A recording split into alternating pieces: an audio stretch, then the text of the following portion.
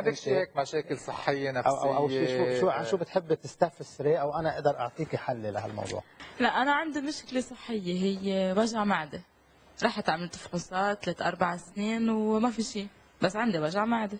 في stress آه، الموجود عندك وبحب أفصل كلمة stress لشغلتين ووضحها stress مش هو إنه يلي بكسر. وبيعيط وبيصرخ إنه هذا إنه عنده stress لا. في stress نحن ما بنحس فيه ابدا. هو موجود بداخلنا لم نعرف لا نعبر عنه ولم نعرف نفسره بشكل بقول لك أنا خيي رايق بس عندي هالنقطة معينة وهي نتيجة عن آه، عضلات عضلات آه، المعدة يلي هي لا إرادية مثل القلب وبتمشي بطريقة إلى إيقاع معين وبتقول على طول بيتر مشدد على كلمة إيقاع لأنه الإيقاع هو جسم الإنسان من اوله لاخره من وقت هو ببطن أمه ليخلق ماشي على إيقاع. والدماغ فهذا هو بيكون في نسبة stress كثير عالية.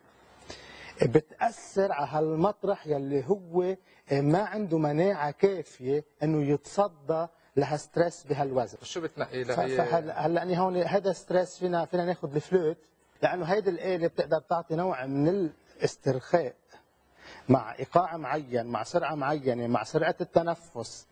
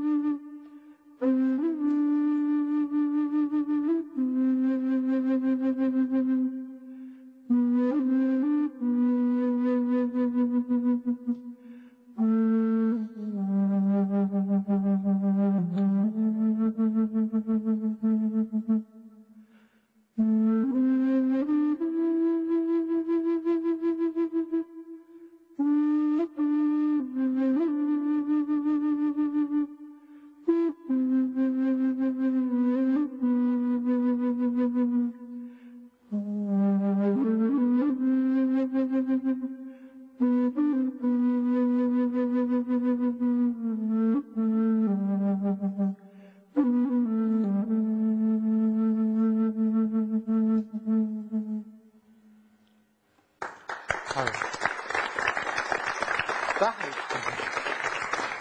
هيدي الموسيقى اللي فيها تأثر على جسمك نعم. وبتخلق عندها آه، مخيل يعني خيال واسع تقدر تعمل شيء مسرحي. وأكيد شافت كثير مشاهد أنا عم بتطلع على شو المونيتور فكرتي؟ شو كنت عم تفكري؟ انت عم تسمع غير إنه شيلوا هالكاميرا عن وجهي خلصوني. آه لا ما ما انتبهت أصلا الكاميرا على وجهي.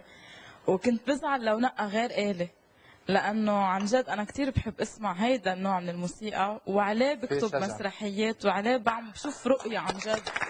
كل مرض له آلته نعم. مثلا وجع الظهر شو ال... نعم. آه، وجع الظهر آه، هي آلة الناي آه، كثير بتأثر فيه بس سرعتها سرعة المقطوعة و والتنفس والتقطع تبعها بتعتمد على شخصية الشخص. طبلة لشو؟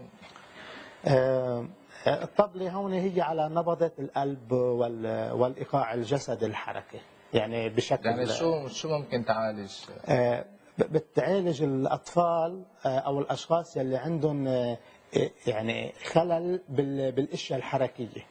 والمراحل العلاج قلت ممكن تكون يعني على 10 دقائق بالنهار أو ساعة أو نعم نص حسب ساعة. حسب الحالة وهيك بتقول مثلا على شهر يعني مثل الراشيتا بتاع إنه بتقول مثلا على شهر لازم تسمعيها أو نعم لأنه برا في بعض في بعض فرمشيات عم عم ينوصف بيوصف الطبيب سداه بيروح بياخذه من الفرمشيه إف. نعم.